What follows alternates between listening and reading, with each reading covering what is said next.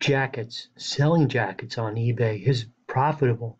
You just have to make sure you have the right brand and the market isn't saturated. Now, if you can source the North Face jackets at a really good price, they will sell if you have the right jacket.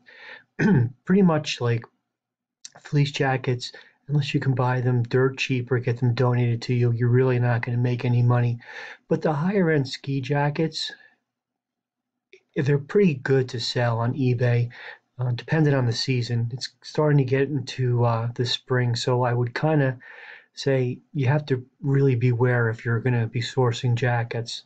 But right now might be a very good time to get jackets because a lot of thrifts will start running sales to get rid of their winter clothing, making way for the spring and summer stock.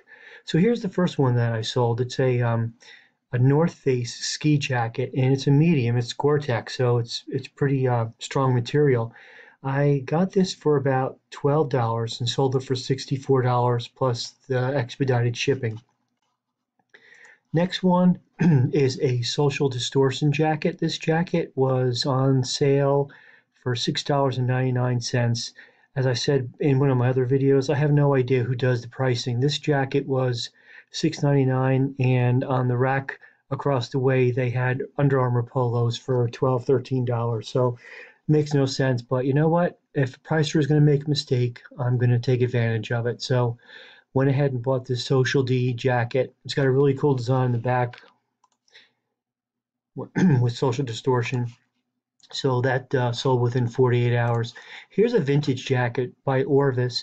Orvis is another one of those brands where maybe three or four years ago, anything Orvis would sell. Now there's so much of it on eBay, just like Tommy Bahama. You can you can get an Orvis shirt for four or five dollars, uh, just like you can get a Tommy Bahama silk shirt for four or five dollars anywhere.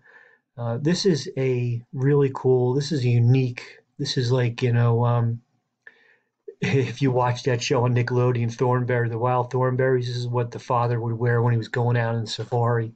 So um, this has uh, got a lot of detail. I believe it was made in the 80s and 90s. So this was uh, it was very nice to pick this up.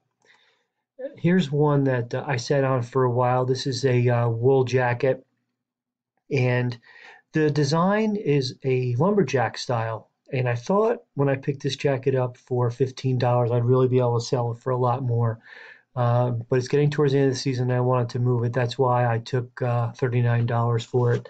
And the last thing is don't pass up on some leather jackets. A lot of thrift stores will have a rack full of leather jackets, and sometimes people that are selling on eBay might not take a look at the leather jackets go into the thrift store and go buy and take check out the leather jackets. You you never know what you're going to find. You, you, might find a really good brand in there. Um, you might find a Harley Davidson leather jacket because no one sometimes they let the jacket sit there for a while. They don't check the leather jackets because a lot of them are like, you know, Georgetown jackets or breeches of Great Outdoors or Banana Republic, Diamond Dozen every once in a while you're going to find a really good black leather jacket. So don't be afraid of taking a look at that rack. Those are the last five jackets that sold for me. I do appreciate you watching the video.